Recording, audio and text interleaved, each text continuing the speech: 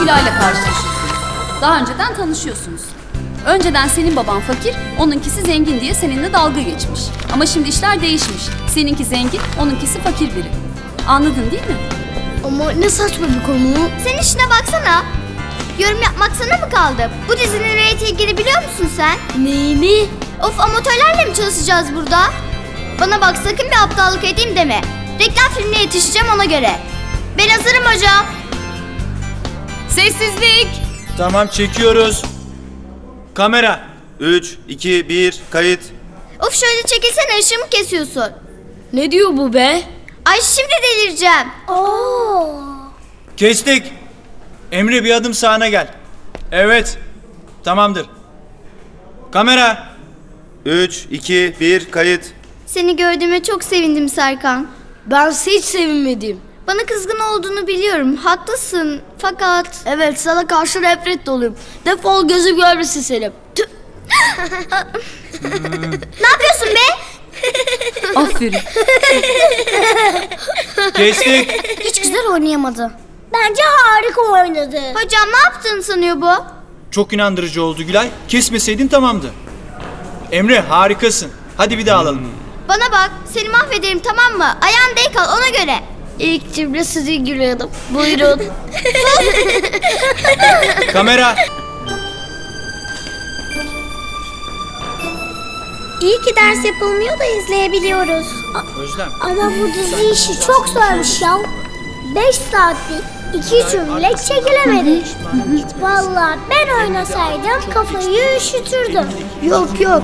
Çok zor bir işmiş bu. Seyrederken de rahat. Ama çekerken Çin işkencesi. Şşt! Sessiz olun çocuklar şimdi kızacaklar. Emre'cim sen kayıt dediğimizde arkanı dönüp gideceksin. Gülay arkandan çok pişmanım gitme diyecek.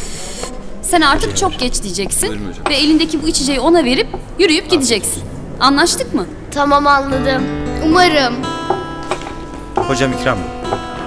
Afiyet olsun hocam. Tamam. Sahne hazır. Evet. Kamera. 3, 2, 1, kayıt. Çok pişmanım gitme.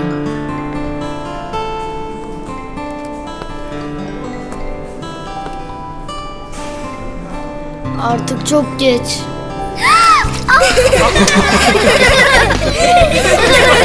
Kestik. Çok güzel Emre. İyi ama bu mizansen yoktu. Aptal şey seni. Ya benim reklam çekimim var şu halime bakın. Gülay'ın temizlenmesine yardımcı olun. Gel. Gerizekalı görürsün sen.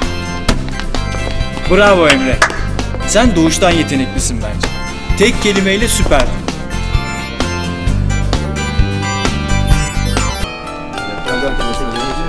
Gülay'cığım en önemli sahne burası tamam mı? Bu sahnede duyguyu iyice yükseltmeni istiyorum. Gülay.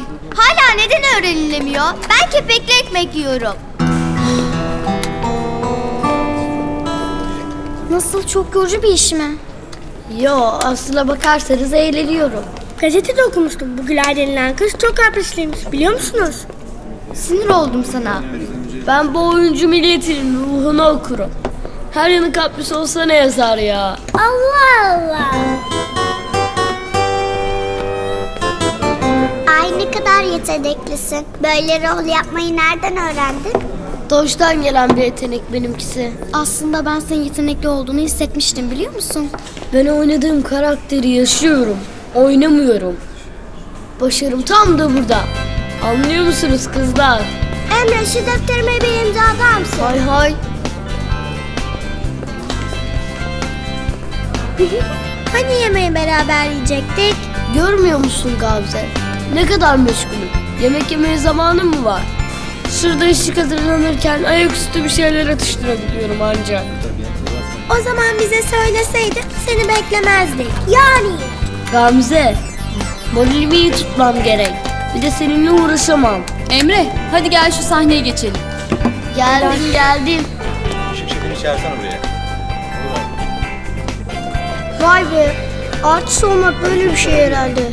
Yani.